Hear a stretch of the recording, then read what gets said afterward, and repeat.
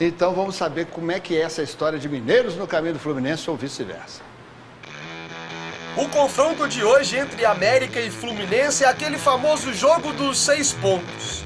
As duas equipes têm 14 e o tricolor carioca leva melhor no saldo de gols.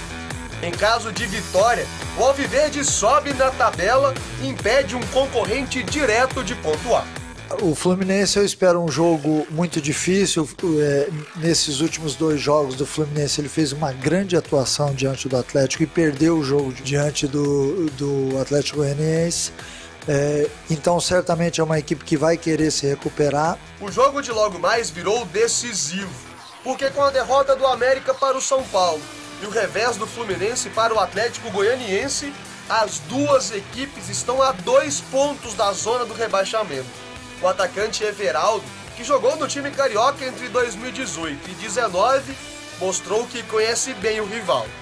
Eu conheço um pouco da equipe do Fluminense, conheço também um pouco do trabalho do, do Fernando Diniz. É um time que gosta muito de ficar com a bola, é um time que tem muita intensidade. A gente sabe que não pode deixar os caras tocarem muito a bola porque eles vão estourar lá na defesa, na nossa defesa, né? Então a gente tem que tentar marcar o mais forte possível ter bastante intensidade também para poder igualar, igualar eles né? e, e conseguir sair no contra-ataque para tentar fazer os gols. América e Fluminense buscam maior regularidade na competição. Ao mesmo tempo em que tiram pontos de rivais da parte de cima da tabela, como as vitórias contra o Atlético e o Atlético Paranaense, perdem pontos importantes diante de rivais da parte de baixo.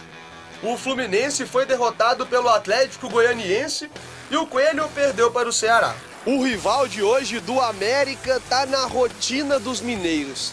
Na semana passada, venceu o Atlético por 5 a 3 pelo Campeonato Brasileiro no Maracanã. E na semana que vem, também no Rio, encara o Cruzeiro pela Copa do Brasil. Diante da dificuldade do confronto, pontuar é necessário para o clima não virar de pressão. Então nós temos que tentar entender aquilo que vai ser a partida, mas eu não gosto quando você é, vai para o jogo com a necessidade de ganhar. Por isso a necessidade de se pontuar em todas as partidas. Às vezes a gente fica muito focado em vencer, em vencer, mas um ponto às vezes ele é importante porque ele acaba te mantendo sempre subindo na tabela.